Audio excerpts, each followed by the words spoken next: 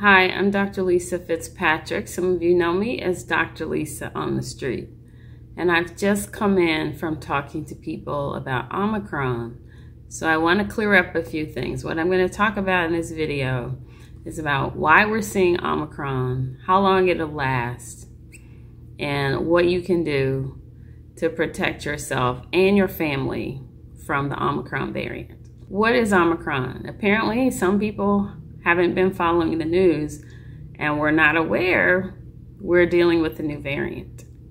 Now, although we're seeing a lot of the Omicron variant, the Delta variant is still out there. So, what is Omicron compared to Delta?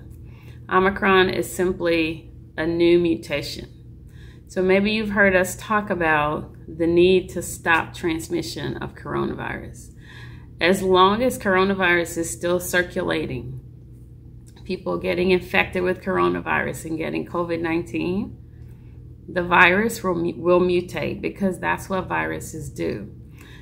Their purpose in life is to find a host, copy themselves over and over and over. That's what makes people sick. So if you come in contact with coronavirus, it gets in your body, starts to replicate itself, and once it gets to a high enough number, it can make you sick the only way to stop the variants, because Omicron probably won't be the last variant, but the only way to stop the variants is to stop transmission of coronavirus.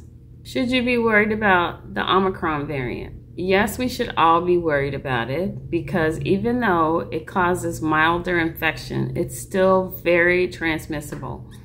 So compared to Delta and some of the other variants, you can, if you get COVID-19 from the Omicron variant, you can infect many more people potentially than if you had the Delta variant.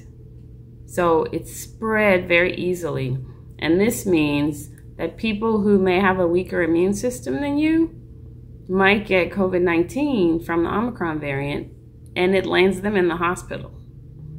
So we should still be vigilant. Mask wearing, but make sure your mask is tight against your face and cover your nose because the virus, you can exhale it and it could still escape through your mask. So masking is still very, very useful, especially when you're in a crowded place or in an indoor space and you don't know the people you're around. We also still have to continue washing our hands. We've forgotten about this a little bit, but when you sneeze and cough, some of that can still get on your hands, and sometimes we just wipe our face without thinking about it. Touch our phones, touch doorknobs, all that's still relevant. So, hand hygiene is still important. So, yes, you should still be worried about it because until we stop transmission of coronavirus, we will still see uh, high rates of infection, and we will still see mutations. Do the vaccines work against Omicron? Well, it turns out if you've had the J&J shot or the two-shot vaccines, they don't work as well unless you get a booster. I know there's a lot of skepticism about this. People think we're pushing vaccines and boosters down people's throats. And I know there's a lot of distrust in science right now. And we'll have to talk about that.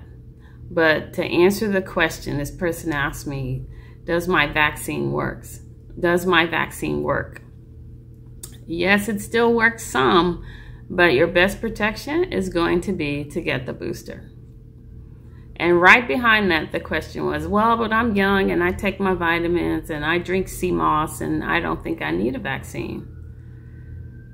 Most of the people who are in the ICUs now and dying of COVID 19 are people who haven't gotten vaccinated. So, have you ever had a vaccine in childhood? Why are we treating COVID 19, these vaccines, in a different way? Why do we think about them in a different way than other vaccines? When the same way they were developed was the same way we've developed other vaccines. Yes, it did go faster, but we're in a global pandemic. And look at the power of what our government can do to eliminate bureaucracy when there's a public health emergency. Another topic we can keep talking about.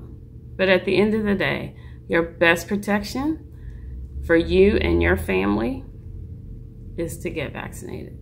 Why would I bother getting vaccinated if we keep getting these variants or if I can still get COVID 19? This is probably the most common question I'm getting right now.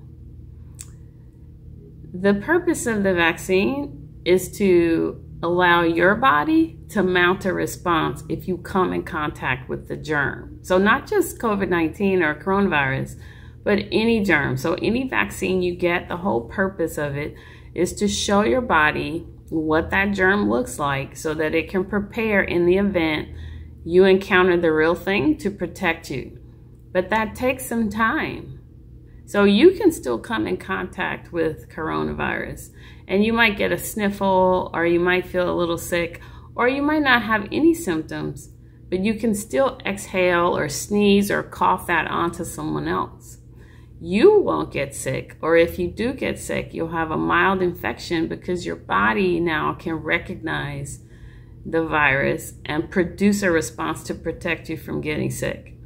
So that's why you should get vaccinated. It's not about not getting COVID. So COVID won't bounce off you like some sort of bulletproof vest just because you've had a vaccine. But once it gets inside, if it gets inside, your body then is prepared to fight it off. Will the test still work if I have Omicron? Yes, because Omicron is a variant or a mutation of the original SARS CoV 2 strain. So when you get a mutation or a change in the virus of some kind, it doesn't change the entire virus. So it's still a SARS CoV 2 virus. It's just a, a cousin or it's similar, but it may behave in a different way. So yes, the test can pick up the coronavirus that's the Omicron variant because it's still coronavirus and the elements you're looking for with the test are still there. But the rapid test is different than what we call the PCR test. The PCR test is the one that takes two to three days to come back.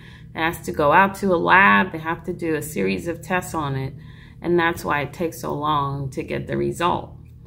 But the rapid test those tests can be negative even though you have COVID 19. So that's something to know. So if you're traveling and you're relying on a rapid test, it's really important for you to get tested two, three, maybe four days in a row looking for uh, the virus. Because if you don't have symptoms or you don't have enough uh, coronavirus in your body, that test could be negative.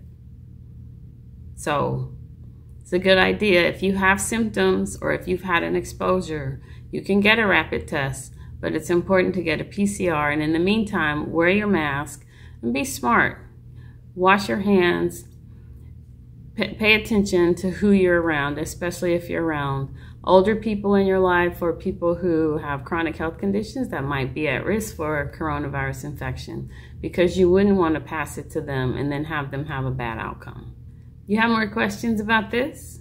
Leave them below and we'll try to get to as many of your questions as we can.